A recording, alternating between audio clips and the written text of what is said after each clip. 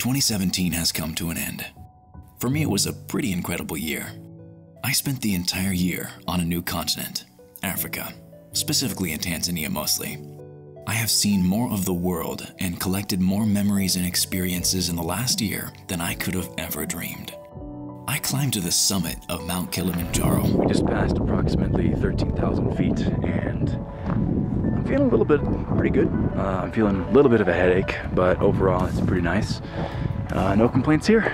Battling altitude sickness, freezing temperatures, and my own mental and physical limits. Basically dying.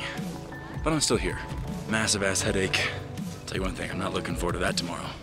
I went on safaris in Ngorongoro Crater, Tarangire National Park, and the Serengeti, encountering and capturing wildlife I thought I'd only get to see on screens. I swam with massive whale sharks off the coast of Mafia Island, which wasn't as scary as it sounds.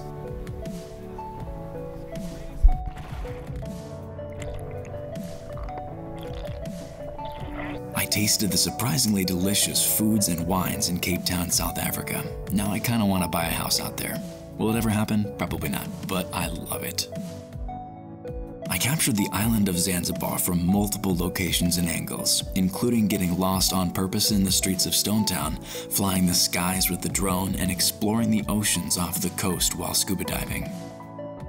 I also explored some of the other islands off the coast of Dar es Salaam, including Bongoyo, this rather phallic but beautiful island, Mbudya, mostly from the air, and the sandbar, which comes and goes with the tides. I also survived malaria. It's been quite the year.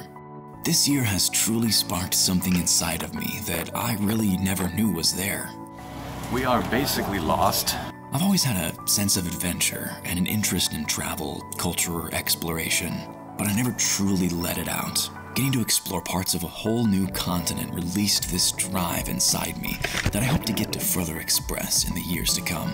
In addition to that, photography has become more than just a tiny side hobby. It's an obsession. It has consumed the majority of my time in 2017, and man, have I learned a lot. It was only just over a year ago where I went on a trip to Zanzibar. Literally just wandering the streets right now aimlessly, getting lost intentionally because it's fun.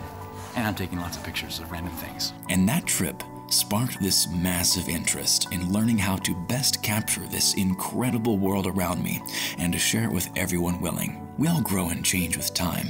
And looking back, it's easy for me to see how much I've changed in just a year's time. With my photography, videos, and even my personality. It's incredible how much impact on our lives a simple year can have. Pretty sure we got stuck with the smallest tent. And this has definitely been a huge year of change for me. I definitely made it.